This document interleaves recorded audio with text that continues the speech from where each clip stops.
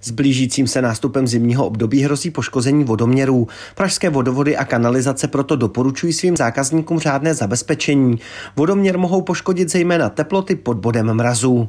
Eh, doporučujeme řádně zabezpečit vodoměry, protože pokud je o poškození a následné výměně, tak zákazník si tu výměnu platí sám a bavíme se o řádu buď stovek korun, nebo možná i jednotek tisíc korun. Pokud je vodoměr umístěn ve venkovním prostoru ve vodoměrné šachtě, doporučuje se na něj dát krycí vrstva izolačního materiálu. Eh, ten eh, vodoměr by měl být pokryt nějakou polystyrenovou deskou nebo drceným polystyrenem, ta celá ta šachta zasypána. Nízké teploty byste neměli podceňovat ani v případě, že máte vodoměr v domě, zvlášť pokud plánujete odjet na delší dovolenou nebo se jedná o chatu, kterou využíváte pouze během letní sezóny? Eh, pokud eh, jste v objektu, eh, který dlouho nebudete využívat v zimě, tak je ideální celou tu vodoměrnou soustavu vypustit. Pokud máte venku, venku ten vodoměr, tak zajistit tak, aby se k němu nedostala voda. V případě, že dojde k poškození vodoměru v důsledku nízkých teplot a špatné ochrany, volejte neprodleně na zákaznickou linku 840 111 112. Následně k vám budou vysláni technici, kteří závadu opraví. Jaroslav Šetlík, Televize Praha.